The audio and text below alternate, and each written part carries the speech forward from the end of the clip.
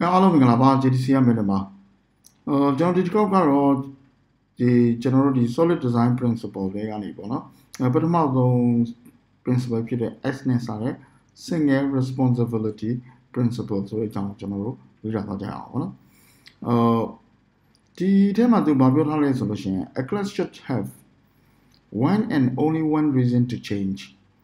meaning that a class should have only one job လို့ပြောရဲပေါ့နော် အဲဒီနေ့လေးမှာကျွန်တော်တို့လုံးဝအထင်မမှားစေချင်တာရှိတစ်ခုရှိပါတယ်အဲဒီ class တစ်ခုပါဆိုလို့ရှိရင်ဒီအဲ့ class တစ်ခုကိုပြုပြင်ပြောင်းလဲဖို့အတွက်အဲအကျိုးအကြောင်းပြချက်တစ်ခုသာရှိရမယ်ပေါ့ဒါကဘာဘာရည်ရည်ဆိုလို့ရှိရင်အဲ class တစ်ခုပါဆိုလို့ရှိရင်အလုပ်တစ်ခုပဲလုပ်နိုင်ရမယ်လို့ဆိုလို့အထိပ္ပယ်ရပါလိမ့်မယ်ပေါ့နော်အဲဒါမဲ့ဒီနေ့မှာပြောချင်တဲ့အကြောင်းအရာကဒီ class တစ်ခုမှာအလုပ်တစ်ခုပဲလုပ်ရမယ်ဆိုတော့ကဒီ class တစ်ခုမှာ method တစ်ခုပဲရှိရမယ်လို့ဆိုလိုချင်တာမဟုတ်ပါဘူး ဟိုဒီ class ခုကအလုပ်တစ်ခုလုပ်တယ်ဆိုလို့ရှိရင်အဲ့ class ကဒီသက်ဆိုင်ရာအလုပ်အမျိုးအစားတွေကိုပဲလုပ်နိုင်ရမယ်ပေါ့ဟိုလုပ်ဆိုလို့ကျင်တာဖြစ်တယ်ပေါ့နော်အဲဆိုကြပါစို့ပြကျွန်တော်တို့ဒီ class တစ်ခုကိုကျွန်တော်တို့ရေးချင်ရေးချင်တယ်ပေါ့နော်ဟိုကျွန်တော် system ထဲမှာဒီဟိုဟာလေးလုပ်လို့ရတယ်အဲဒီဟာလေးလုပ်လို့ရတယ်မှဆိုကြပါစို့တတို့သမီးတို့ကျွန်တော်မေးချင်တာက class တစ်ခုမှာကျွန်တော်တို့စီမှာပေါ့နော်ဒီဟို class တစ်ခု system တစ်ခုရေးတော့မယ်ပေါ့ အဲအဲ့ class ကပဲဒီ employee တွေကိုဟိုရှာပေးနိုင်တယ်အဲနောက်ပြီး employee တွေကိုသိမ်းပေးထားနိုင်တယ်နောက်ပြီးလို့ရှိရင်အဲ့ဒီ employee ရဲ့ attendance တွေကိုလည်းသိမ်းပေးထားနိုင်တယ်အဲအဲ့အဲ့ဒီ employee ရဲ့ attendance တွေကိုလည်းကျွန်တော်တို့ပြန်ရှာနိုင်တယ်ပေါ့နော်အဲပြီးလို့ရှိရင် payroll တွေပါတွက်နိုင်တယ်ဆိုလို့ရှိရင်အကုန်လုံးလုပ်လို့ရတယ် class တစ်ခုရှိကြပြီဆိုကြပါလို့ပေါ့နော်အဲဆိုကြပါတော့ကျွန်တော်ကတော့ class diagram နဲ့ကျွန်တော်ရေးကြည့်အောင်ပေါ့နော်အဲနမူနာကျွန်တော်ဒီတစ်ခေါက်ကတော့ code မရေးချင်မှလည်းရေးပါလိမ့်မယ် ကျွန်တော်တို့ဒီ class diagram နဲ့ပဲကြည့်ပြီးတော့ဖြစ်ဘယ်လိုဖြစ်နိုင်မလဲဆိုတာကိုလည်းခံမှတ်သွားတာလည်းဖြစ်ပါလိမ့်မယ်ဟုတ်လားအဲ star UML ကိုကျွန်တော်ထည့်ပြီးတော့ဖွင့်ပြီးတော့ရေးကြည့်အောင်ဗျ okay ကျွန်တော်ဒီ star UML ထဲမှာအာဆိုကြပါစို့အာကျွန်တော် class တစ်ခုရှိမယ်ပေါ့ကျွန်တော် system ထဲမှာ okay ဒါဆိုလို့ရှိရင် pay row master ဆိုတော့ class တစ်ခုရှိမယ်ပေါ့နော် အာကျွန်တော်ဒီမှာဒီ UI တွေနဲ့ဒီ UI နောက်ပြန်မှာရှိတဲ့ controller class တွေနဲ့ဆိုလို့ရှိရင်အဲ employee emplo loye employee controller employee controller မှာသူကဘာလုပ်လို့ရမလဲဆိုလို့ရှိရင်လည်းအဲကျွန်တော် method အနေနဲ့ show all employee ဆိုတော့ဒီလုပ်လို့ရမယ်ပေါ့နော်အဲပြီးလို့ရှိရင်သူစီမှာအဲကျွန်တော်ဆိုကြပါစို့သူကတော့ဒီ employee နဲ့ပတ်သက်တဲ့အလုပ်ကိုပဲလုပ်မှာပေါ့နော် ဟို add new employee ပေါ့နော် add new ဆိုပြီးတော့လည်းကျွန်တော်ရေးထားနိုင်ပေါ့ဆိုကြပါစို့ add new လည်းလုပ်နိုင်တယ်နောက်ပြီးလို့ရှိရင်ဟို find ပေါ့နော် find by id ဆိုပြီးတော့မှဟိုနေပါဦးကွာဟို show details details ဆိုတော့ကျွန်တော်လုပ်နိုင်မယ်ပေါ့နော်အဲပြီးလို့ရှိရင်ကျွန်တော်တို့ update တွေလည်းလုပ်မှာဒါတွေလုပ်လို့ရတယ်ဒီ employee controller မှာဆိုလို့ရှိရင်သူက ဒီလုပ်တွေလုပ်လို့ရနိုင်တယ်နောက်ပြီး okay နောက်ပြီးလို့ရှိရင်ဒီ attendance ပေါ့နော်ဟို ATT END and C attendance controller ရှိနေ controller ရှိတယ်ပေါ့အော်သူစီမှာကျွန်တော်တို့ဒါဆိုလို့ရှိရင်ဆိုကြပါစို့ဟို show all ပေါ့နော်အဲဆိုတော့ရှိမယ်ပြီးလို့ရှိရင် show all ဆို sorry ဒါ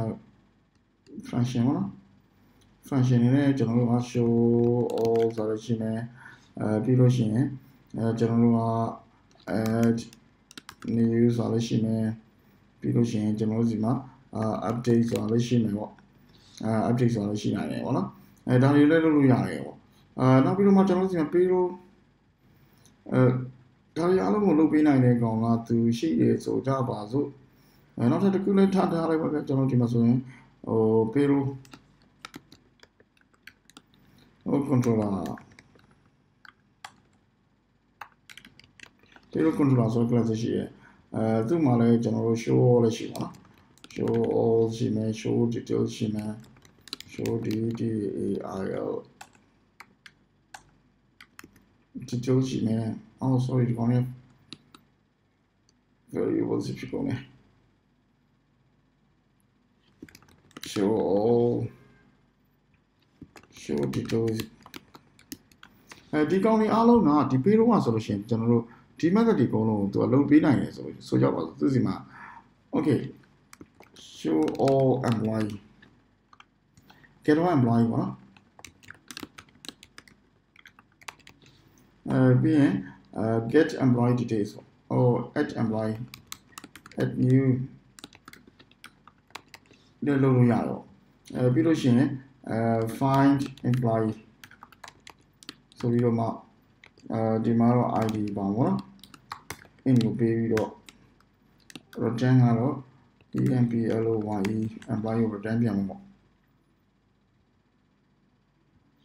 အဲပြီးလို့ရှိရင် add new employee မှာလည်းသူ parameter ကဟိုဆိုတော့ emp ပေါ့နော်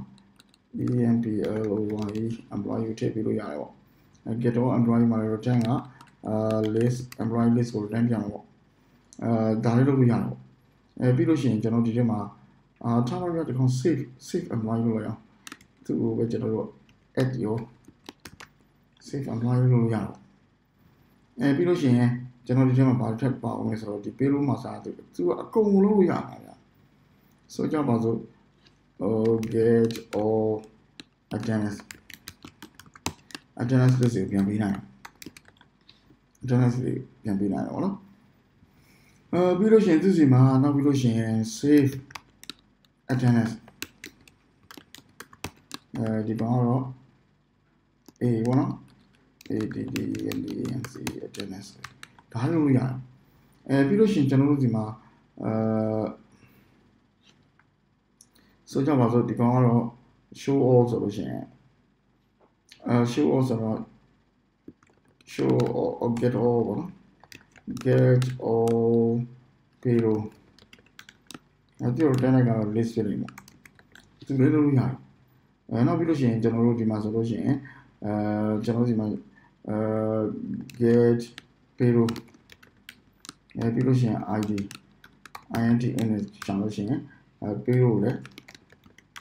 payroll လည်းပြန်ပြလို့ရတယ်ဒီလို case မျိုးပေါ့ဗျကျွန်တော်ဒီမှာကြည့်မယ်ဆိုရင်ဒီဒီ class oh sorry ဒီ payroll master ဆိုတဲ့ class ကဒါတော်တော်လေးကိုအဆင်ပြေတယ်လို့ဖြစ်နေတာဟုတ်လားဟိုဘာမှဆိုလို့လို့ရတဲ့ class လိုမျိုးဖြစ်နေတယ်ပေါ့ဘာမှဆိုလို့လို့ရတဲ့ class မျိုးဖြစ်နေပါတယ်ဟုတ်လားကျွန်တော်ဒါခဏလေးပဲဒီ view ချိန်ရတယ်နဲ့ကန်တယ် high cyber view တွေက height navigation ပါကျွန်တော်ပြလိုက်ပေါ့နော် okay အဲဒီမှာကြည့်မယ်ဆိုတော်တော်လေးကိုအဆင်ပြေလို့ပဲဒီ payroll master ဆိုတာပေါ့နော်သူစီမှာ employee ကိုလည်းရှာလို့ရတယ် employee တွေသိမ်းလို့ရတယ်အဲ employee ကို ID ပေးပြီးကျွန်တော်ရှာလို့ရတယ် attendance အားလုံးလည်းယူလို့ရတယ် save attendance ဆိုပြီး attendance ဆိုတော့ပြီးတော့အတိတ်ထဲတာရော save တာရောကုန်လုပ်လို့ရတယ် get all payroll payroll တွေလည်းသူကပြန်ရှာလို့ရတယ်ပေါ့အဲဒီ payroll master class တစ်ခုရှိရတယ်ကျွန်တော်တို့ဒီမှာကျွန်တော်တို့လိုအပ်တဲ့ employee controller တွေရော attendance controller တွေရော payroll controller တွေရောအကုန်လုံးက happy ဖြစ်နေပေါ့အဲဒီလိုမျိုးဒီအရာရာကိုလုပ်လို့ရတဲ့ဒီလိုမျိုး super superman လို့ class မျိုးပေါ့နော်ဟိုရေးသားခြင်းကတော်တော်များအားလုံးလို့ရရင်ကောင်းတယ်လို့ထင်တယ်ဗျာကျွန်တော်ဒီ ဒီ object တွေရဲ့ design principle နဲ့ပြန်နေကြည့်မယ်ဆိုရင်စောစောက single responsibility ဆိုတဲ့ principle ကိုချိုးဖောက်ရကြသွားပါတယ်ပေါ့။ဘာလို့လဲဆိုတော့သူကဒီမှာအကုန်လုံးလို့ရဒီလိုမျိုး single responsibility ကိုသူကတာဝန်တစ်ခုတည်းမဟုတ်တော့ဘူးပေါ့နော်။ဟိုဒီရှေ့မှာပြောခဲ့တာကိုကျွန်တော်ပြန်ကြည့်အောင်သူပြောခဲ့တာဒီမှာကြည့်မယ်ဆိုလို့ရှိရင် a class should have one and only one reason to change change မို့ဒီ class တစ်ခုကိုပြောင်းဖို့ reason တစ်ခုသာရှိရမယ်လို့ပြောတယ်ပေါ့နော် meaning that the class should have only one job ဆိုတော့အလုပ်တစ်ခုသာရှိရမယ်လို့ပြောတယ်ဒီမှာဆိုလို့ရှိရင်သူစီမှာဆိုလို့ရှိရင်အလုပ်က employee တွေကိုလည်းသူကလုံးလုံးရနိုင်တယ် attendance တွေလုံးလုံးရနိုင်တယ် payroll တွေလုံးရနိုင်တယ်သူစီမှာဒီပြောင်းကြပြောင်းကျင်နေဆိုလို့ရှိရင် reason တွေကအများကြီးရှိနိုင်တယ် employee ရဲ့ဒီ data တစ်ခုပြောင်းသွားတာလို့နောက်ပြီးတော့ attendance တွေထဲမှာ fee တစ်ခုတိုးတာလို့အဲနောက်ပြီးလို့ရှိရင် payroll calculation rules တွေပြောင်းသွားတာလို့အဲဒါမျိုးဆိုလို့ရှိရင်ဒီအကြောင်းကျောင်းရသုံးခုတွေမှာတစ်ခုခုကြောင့် ဟိုပြောင်းလို့ရှိရင်ဒီ class ကလာပြီးပြင်ရတော့မဖြစ်နေဘူးเนาะအဲဒါဆိုလို့ရှိရင်သူ့မှာ reason ကတစ်ခုတည်းမကရှိသွားပြီပေါ့အလုပ်တစ်ခုတည်းမကအလုပ်လုပ်သွားပြီဒီ payroll မှာဆိုပြင်ဖို့အတွက် reason တွေကဟိုအများကြီးရှိနေတယ်ပေါ့အဲဒီလိုမျိုး case မျိုးဆိုလို့ရှိရင်ဒါ single responsibility ဟို design principle ကိုမလိုက်နိုင်ရရောက်သွားပါတယ်အဲဒါဆိုကျွန်တော်တို့မလိုက်နိုင်တဲ့အတွက်ဘာတွေပြဿနာရှိနိုင်လဲ ဘာပြဿနာရှိနိုင်လဲဆိုတော့ကျွန်တော်ဆက်ကြည့်အောင်နော်အဲဒီလိုမျိုးအကုန်လုံးလို့ရနေတဲ့အတွက်ဒီ class ကိုဆိုလို့ရှိရင်ဒီ payroll master ဆိုတဲ့ object ကိုသူကဘယ်သူတွေကသုံးနေမလဲဆိုတော့ဟို site ဘာအောင်ကျွန်တော်ကြည့်အောင်နော်အဲသူ့ကိုသုံးနေနိုင်တဲ့ dependency အနေနဲ့ payroll controller လည်းသုံးနေမှာပဲဗျသူက payroll ရှာခြင်းတဲ့အတွက်ပေါ့နော်အဲနောက်ပြီးတော့လည်းသူ့ကိုဒီ employee controller လည်းသုံးခြင်းပါပဲသုံးနေမှာပဲပေါ့နော်အဲနောက်ပြီးလို့ရှိရင်ဒီ attendance နဲ့ပတ်သက်ပြီးတော့ attendance controller လည်းသူ့ကိုသုံးနေတယ်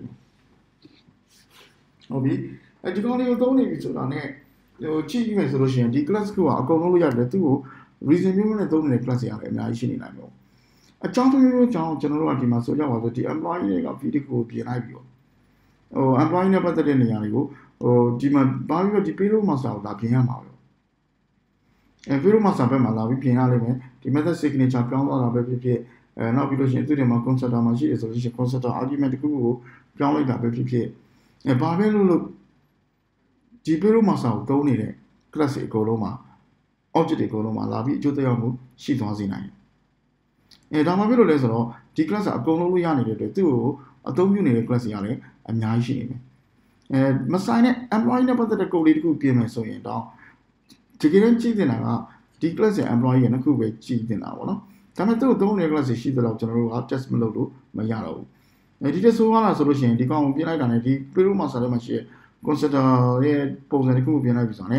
ဟိုသူ့ကို object စောင့်နေတဲ့နေရာတွေမှန်သမျှအကုန်လုံးမှာသွားပြီးတော့ effect ဖြစ်သွားစေနိုင်တယ်ဟိုပြင်ညာ employee နဲ့ပတ်သက်တာပြင်ညာဒါပေမဲ့ attendance controller မှာလည်းကျွန်တော်တို့သွားပြီးတော့ပြင်ပေးဖို့လိုလာသလို payroll controller မှာလည်းလိုအပ်လာရင်ကျွန်တော်တို့သွားပြင်ပေးဖို့လိုလိမ့်မယ်အဲ့တိုင်းမှာဒီ controller တွေမှာသုံးနေတဲ့သုံးနေသေးတဲ့အရာတွေရှိအောင်မယ်ဆိုလို့ရှိရင်လည်းသူတို့စီမှာလာပြီးတော့အကျိုးသက်ရောက်မှုရှိသွားစေနိုင်တယ်အဲဒီလိုမျိုးကိုမျိုးဟာ စောစောကလည်းဒီ fragility ဆိုတဲ့ပျက်စီးလွယ်ကူစေတယ်ဆိုတဲ့အချက်ကဟိုတွားပြီးတော့အဓိကချိုးဖောက်နေတာဖြစ်တယ်ပေါ့နော်ဟိုသူ့တခုခုပြင်နေတယ်ပျက်စီးရလွယ်ကူသွားတယ်ပေါ့အကြောင်းတစ်မျိုးကြောင့်တနေ့အောင်ပြင်လိုက်ပြီဆိုတာ ਨੇ တခြားနေရာတွေမှာလာသွားပြီးတော့ဟိုထိခိုက်သွားစေနိုင်တယ်အဲ့ဒီပြင်ဟိုကျွန်တော်တို့ဒီကောင်ကြီးကိုသုံးမယ်ဆိုလို့ရှိရင်သူကဆိုကြပါစို့တခြားသော dependency တွေလည်းအများကြီးရှိနေနိုင်တယ် database ချိတ်တဲ့ຢာတွေဆိုရင်သူတို့တွေပါမှာကျွန်တော်တခြားနေရာမှာပြန်ပြီးတော့ reuse လုပ်လို့ရမယ် immovability ပေါ့နော်အဲ mobile သူ့ကိုတနေရာကိုရွှေ့ဖို့ပြုတ်ဖို့အရန်ခက်ခဲသွားစေရောနောက်ပြီးတော့ဟို rigidity ပေါ့ rigidity ဆိုအရန်ကိုတင်းတင်းကြပ်ကြပ်ကြီးကိုရေးထားတဲ့အတွက်သူကဘာမှတစ်ခုပါလဲဆိုပြည့်ပြည့်ပြောင်းလဲတာခက်ခဲစေတဲ့ပုံတွေကိုလည်းဖြစ်စေနိုင်တယ်အဲဆိုတော့ bad design ဆိုတဲ့နေရာကိုဒီ single responsibility pattern လေးကိုမလိုက်နိုင်ခြင်းအဖြစ်ကျွန်တော်တို့ရဲ့ရေးသားတဲ့ code တွေက bad design ကိုဖြစ်သွားစေတယ်အကြောင်းအကြောင်းချက် သုံးခုစလုံးသွားပြီးတိုက်ဆိုင်နေတာကိုတွေ့ရပါတယ်ဟုတ်ပြီဒါပေမဲ့ single responsibility pattern ကိုကျွန်တော်တို့လိုက်နိုင်အောင်ဘယ်လိုလုပ်မလဲဆိုလို့ရှိရင်ကျွန်တော်တို့ဆိုကြပါဆိုဒီနေရာမှာ okay ဒါဆို employee သူတို့ကိုကျွန်တော် employee employee um service ဆိုကျွန်တော်ကိုရေးလိုက် employee service မှာအဲကျွန်တော်ဒါဆိုလို့ရှိရင်သူကလိုချင်တဲ့ employee တို့ကိုကျွန်တော် method တွေဟိုဆိုကြပါစို့ get or ဒီမှာရှိတဲ့ method တွေ copy ပြုလိုက်တော့ရနော်ဒီရရှိတဲ့ method ကိုကျွန်တော်ဒီကောင်ကိုကျွန်တော် copy ကူးပြီးတော့ဒီထဲမှာလောက်ထည့်လိုက်အဲနောက်ပြီးသူ့ကိုလည်းကျွန်တော်ဒီမှာပြန်ယူပြီးတော့အဲဒီထဲမှာတစ်ကြောင်းထပ်ထုတ်လိုက်အဲနောက်ပြီးလို့ရှိရင် file employee ကိုလည်း employee နဲ့သက်ဆိုင်တဲ့အလုပ်တွေကို employee service ကိုကျွန်တော်ရွှေ့ပလိုက်ရွှေ့ပလိုက်ရောနော် အဲပြီးတော့မှသူသုံးနေတာကတော့ okay employee မင်းကတော့ employee controller ဖြစ်တဲ့အတွက်မင်း employee service ကိုသုံးပါဆိုပြီးကျွန်တော်တခုရေးပြလိုက်မယ်အဲမဆိုင်တဲ့ဟာတွေကိုကျွန်တော်ဒီမှာဖြတ်ထုတ်လိုက် sorry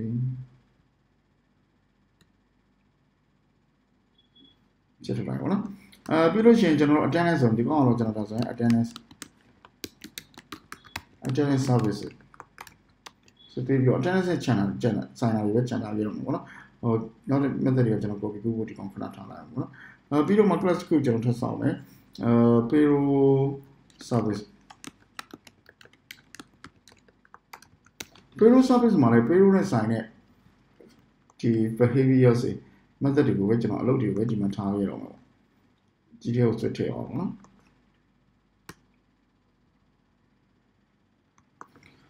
အဲပြီးတော့ဒီထဲမှာပါတဲ့ဒီ get payroll list ဆိုပါလို့ဆိုရင်ကျွန်တော်ဒီမှာဖြတ်ပလိုက်မယ်ဗျာဖြတ်ပလိုက်မယ်ဗျာ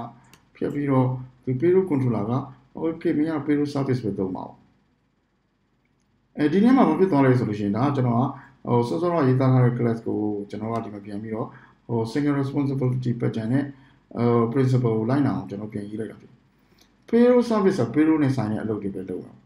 attendance service က attendance နဲ့ဆိုင်တဲ့အလုပ်ပဲလုပ်မယ် employee service ကတော့ employee နဲ့ဆိုင်တဲ့အလုပ်ပဲလုပ်မယ်အဲ့တော့သူ့ကိုသုံးနေတဲ့ class ကလည်း employee နဲ့ဆိုင်တဲ့နေရာပဲသုံးနေအကြောင်းတစ်မျိုးကြောင့်ကျွန်တော်ဒီမှာပြင်ချင်မယ်ဆိုလို့ရှိရင်ကျွန်တော်ကြည့်စရာလိုတာက employee controller ကိုကြည့်ဖို့လိုတော့မယ်ကျန်တဲ့ class ကိုကျွန်တော်တို့ဆက်ကြည့်စရာလို့မှအကျိုးသက်ရောက်စရာရှိမှာမဟုတ်သုံးနေတာကသူ့သုံးနေတာ employee controller တခုပါပဲသုံးနေတာဖြစ်တဲ့အတွက်တကယ်လို့ attendance ကြောင့်ပြင်နေတယ်ဆိုလို့ရှိရင်လည်းကျွန်တော်တို့က attendance service မှာပြင်လိုက်ရုံပဲအဲသူနဲ့ကြိုးသက်ရောက်တာကလည်းသူ့သုံးနေတာ Android attendance controller ဖြစ်တဲ့အတွက် attendance controller တခုကိုကျွန်တော်ကြည့်ကြလို့လိမ့်မယ်ကျန်တဲ့ employee controller တို့ payroll controller တို့ကျွန်တော်ကြည့်ကြမလို့အဲ့ဒါမှ payroll နဲ့ပတ်သက်တဲ့ rules တွေကျွန်တော်ပြင်နေတယ်ဆိုတော့ payroll service မှာပြင်ရုံပဲသူ့သုံးနေတဲ့တွေကိုကျွန်တော်ဆက်ကြည့်ဖို့လို့မယ်ကျန်တဲ့မဆိုင်တဲ့နေရာတွေကိုကျွန်တော်ဆက်ကြည့်ကြမလို့ဒီအကျိုးရှိနိုင်ပါတယ်ဗောနော်ဒါကြောင့်ကျွန်တော်တို့ဒီဒီဘယ်လိုပြောမလဲကျွန်တော်တို့ဒီ design principle တွေဗောနော်အဲ့ဒါမှာပထမဆုံး principle ဖြစ်တဲ့ single responsibility principle ဆိုတာကကျွန်တော်ဒီမှာသူပြောထားတာကဟို a class should have one and only one reason to change သူ့အဲ့ class ကိုပြင်ဖို့ဆိုလို့ရှိရင် reason တစ်ခုပဲရှိတဲ့တယ်လို့ပြောတယ်ဗောနော် now meaning that that a class should have only one job ဆိုတာ function တစ်ခုတည်းကိုပြောတာမဟုတ်ပါဘူးအလုပ်သက်ဆိုင်တဲ့အလုပ်ကိုတစ်မျိုးတည်းပဲလုပ်စီခြင်းတယ်ဆိုတဲ့ပြောသဘောကိုပြောတာပါဒါမှသာသူ့ရေးချက်တစ်ခုတည်းနဲ့ပဲသုံးနေလို့အရှိမှဖြစ်ပြီးတော့ဟိုဒီလိုရေးလိုက်ခြင်းအဖြစ်ဒီ employee service ဆိုကျွန်တော်တခြားနေရာမှာလည်းကျွန်တော်တို့ပြန် employee ကိုသုံးခြင်းတဲ့တခြား feature တွေတခုပေါ်လာတယ် sub view တွေပေါ်လာပြီဆိုတော့ သူ့ကိုပဲလို့လို့လည်းဟိုဘယ်လိုခေါ်မလဲသူပြင်လို့ရှိရင်လည်းကျွန်တော်ကြိုးစားမှုအနည်းဆုံးဆောင်တင်နိုင်တယ်တခြားနေရာမှာလည်းပြန်ပြီး reuse လုပ်သွားလို့ရတယ်အဲနောက်မှသူစီမှာတခြားစောစောက class ဆိုလို့ရှိရင်သူ့မှာ repository ကိုအများကြီးပြီးကိုနေရမယ် employee report ရှိမယ် attendance report ရှိမယ် payroll report ရှိမယ်အဲ့ဒီ report သုံးခုစလုံးကိုသူကကြည့်နေရဖြစ်တဲ့အတွက်သူတခြားနေရာကိုကျွန်တော်တို့ကဟို တခြား class တွေနဲ့အရင်ကတိတိကျကျချုပ်နှောင်ထားနေတယ်ဖြစ်တယ်ပေါ့အခုလို employee service တခုတည်းတော့ဖြစ်သွားလို့ရှိရင်တော့သူက employee report တခုပဲသူကြည့်ရမယ်ပေါ့ employee တခုပဲသူလုပ်တော့ဒါဆိုရင် employee ကိုတခြားနေရာမှာ just system မှာသုံးနေတယ်ဟိုဒီ accounting system မှာသုံးနေတယ်ဆိုတော့ဒီ employee service ကိုကျွန်တော် accounting ဟိုဒီ employee service ဆိုတခြားနေရာမှာလည်းကျွန်တော်သွားပြီးတော့ဟိုယူသွားပြီးသုံးသွားလို့ရတယ် reuse လုပ်လို့ရတယ် rigid မဖြစ်ဘူးပေါ့နော် rigidity လည်းမဖြစ်တော့ဘူးဒီဟို immovability လည်းမဖြစ်တော့ rigidity လည်းမဖြစ်တော့ဘူးပြီးလို့ရှိရင်သူ့စီမှာ ဟို fragile လည်းမဖြစ်တော့ဘူးဆိုတဲ့အချက်ကိုကျွန်တော်သိနိုင်တယ် single responsibility pattern ဆိုလိုက်နာခြင်းအပြင်ကျွန်တော်တို့ကဟို good bad design ဖြစ်နေရနေပြီးတော့ good design ဖြစ်အောင်ကျွန်တော်တို့ class ကိုဟိုပြန်ပြီးပြည့်ပြည့်ပြီးရေးသားနိုင်တယ်ဆိုတော့တွေ့ရပါလိမ့်မယ် Okay ဒီတစ်ခေါက်ကတော့ကျွန်တော်ပထမဆုံးဒီတစ်ခေါက်တော့ကျွန်တော် Java code တွေမရေးတော့ဘဲနဲ့အာကျွန်တော် class design လေးနဲ့ပဲ single responsibility pattern ဆိုတာဘယ်လိုဟာမျိုးလဲပေါ့အဲ့ဒါကိုလိုက်နာပြီးရေးဖို့အတွက်ကျွန်တော်တို့ကဟိုမလိုက်နာတဲ့အတွက် ဘယ်လိုမျိုးပြဿနာတွေတက်နိုင်လဲလိုက်နာတဲ့အတွက်ဘယ်လိုမျိုးကျွန်တော်တို့ရဲ့ software design ကိုဟိုမကောင်းတဲ့ဘက်ကနေကောင်းတဲ့ဘက်ကောင်ကိုရအောင်ပြောင်းပေးနိုင်တယ်ဆိုတာတော့ပြပြပြီးပြီးဖြစ်ပါတယ်ပေါ့နော် Okay နောက်တစ်ခေါက်ကြလို့ရှင်တော့ကျွန်တော်က S ပြီးလို့ရှင်တော့ O ပေါ့နော် open and close principle ဆိုတဲ့အပိုင်းကိုကျွန်တော်တို့ဆက်ပြီးလေ့လာပါကြအောင်အဲအားလုံးကျေးဇူးတင်ပါတယ် JDC ကလွှင့်နေဖြစ်ပါတယ်